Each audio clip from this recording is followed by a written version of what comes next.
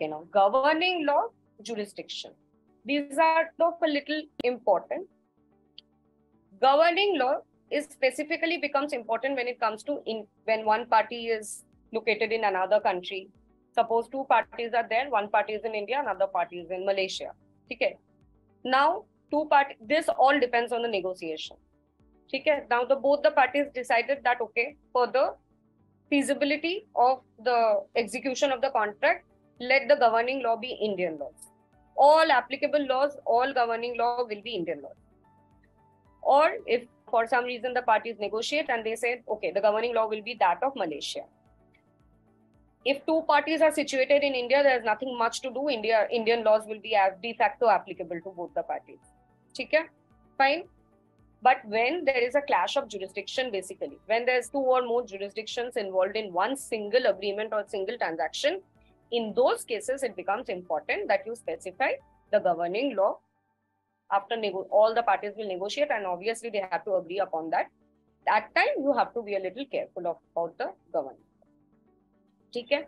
Jurisdiction similarly, suppose there's a party now de facto guys jurisdiction depends on jurisdiction is determined under cpc so i cannot always remember this okay no agreement can actually be above any law because that is one of the basic facets of a valid agreement we have read. It will not be contrary to any law or public policy. Okay? So at the end of the day, the jurisdiction, which court has jurisdiction to hear any dispute, it is de facto decided under CPC. Okay? So you cannot like the generally the place of execution of the agreement is where the courts have. The jurisdiction clause comes into play is suppose one party is in Mumbai, one party is in Delhi. Both parties negotiate and they are they basically make a deal that okay, suppose only courts of Mumbai will have exclusive jurisdiction to hear the cases. This is put according to parties' convenience. Remember this. But at the end of the day, CPC is the governing law here. Civil Procedure Code. We have a like a huge chapter under CPC on jurisdiction. It has to comply with that. Okay.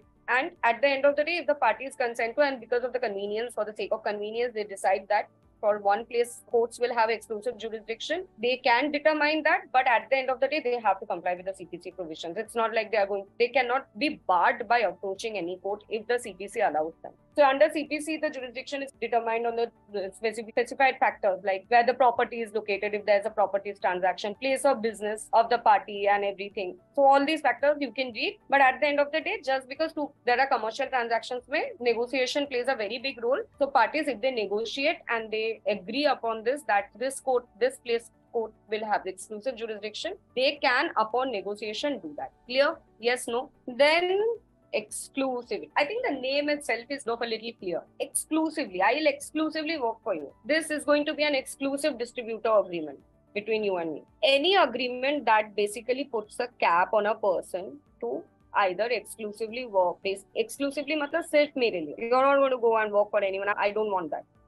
So today, two parties can negotiate and say that, okay, this is going to be an exclusive agreement between you and me. No other third person can enter into this. No assign in this case, and again, in exclusivity, uh, when the agreement is exclusive in nature, assignment clause will play a very important role, right? The very point of exclusivity, putting exclusivity is going to be that at the end of the day, you are not going to assign it or give it to someone.